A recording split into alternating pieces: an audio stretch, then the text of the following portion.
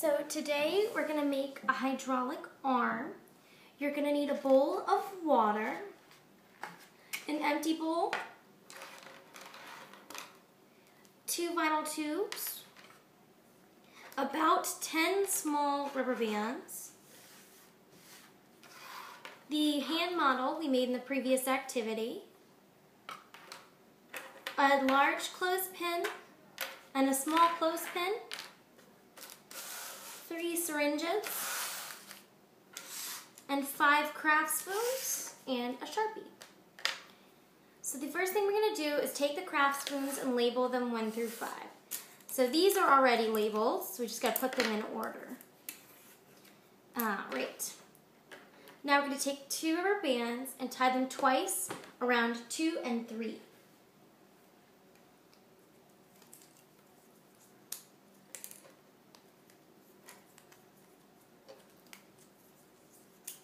Alright, so now we have 2 and 3.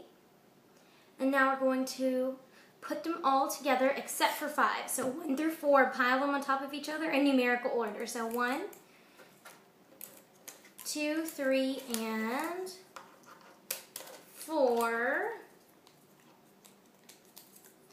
And then what we're going to do is we're going to attach them all together with a small rubber band. We're going to go around there four times on this end, on the skinniest end. So now it should look kind of like fingers. You see we got some little fingers here.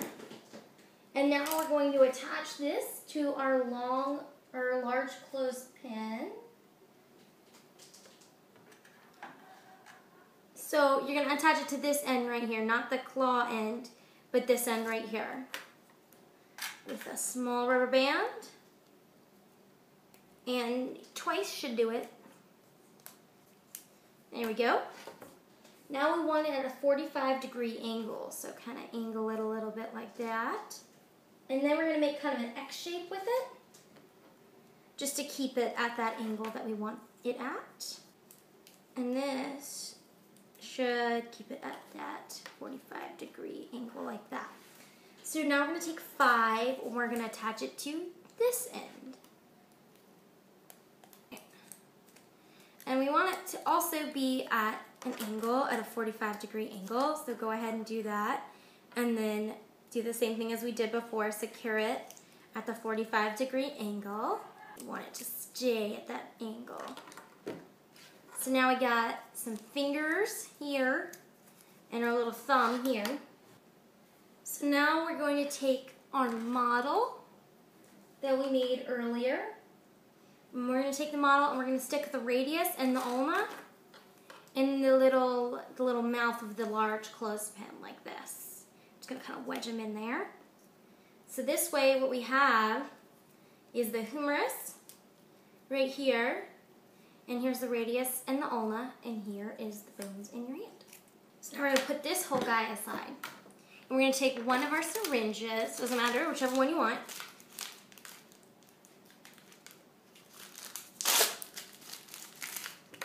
And we're going to wrap a rubber band around the top of it 10 times on the top here where the plunger is. So we're going to wrap it 10 times. So now we have it wrapped around the plunger here 10 times. Now we're going to connect this syringe to our thumb. So the way we're going to do it is we're going to attach this end right here to the thumb. Okay? And then we're going to kind of open it up a little bit here so that we can sort of wedge it in so that the plunger doesn't open because we want it to stay just as plunged as it is right now. And then we're going to rubber band this end to the elbow here. Alright, so now we should have two syringes attached to our hand right now. We've got two of them. Now we're to take this small clothespin and we're going to put it on the thumb and make sort of a, a hook like that. So now we got to get out the water. So we're going to put all this aside. We're going to get out our bowl of water and our empty bowl. We're gonna take one of our syringes and one of our vinyl tubes. So now I have the vinyl tube here and we're gonna take the syringe and attach it to the vinyl tube. All right, so now we have it attached to the vinyl tube. We're gonna put the tube in the water and then you're gonna pull the plunger on the syringe up. Now the tube's not gonna fill totally with water. There's still gonna be air left in it and that is perfectly okay. So now we're gonna put the tube in the empty bowl and I want you to pull out the syringe and just let the water kind of come out.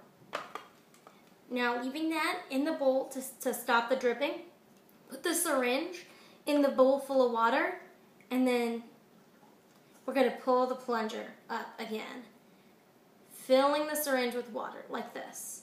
And now we're gonna attach it back once more to the vinyl tube. So then we're gonna put that aside and we're gonna do it once again with the other syringe and the other vinyl tube. So you start, put the syringe, you put the syringe in the vinyl tube, then you put the vinyl tube in the water, and then you're gonna you're gonna pull up on the syringe. The vinyl tube won't fill all the way. Put the vinyl tube in the drip cup. Let it all kind of drip out and let it leak out. And then you're gonna take the syringe, put it in the water, and pull up, fill up the syringe with water, and then reattach it once more. Alright, so those are both done, so we can put these two aside. So now we're going to attach one tube to one syringe. We've got this syringe right here. Attach it nice and tight. And then you're going to attach the other tube to the other syringe. And make sure they're both in pretty tight. So now you have a full hydraulic arm, so let's watch it in action. So now if I plunge down on this one, you can see the humerus is moving. So now we have our thumb moving. There you go. And that's how to make a hydraulic arm. If you have any questions or comments, just leave them below. Thank you so much.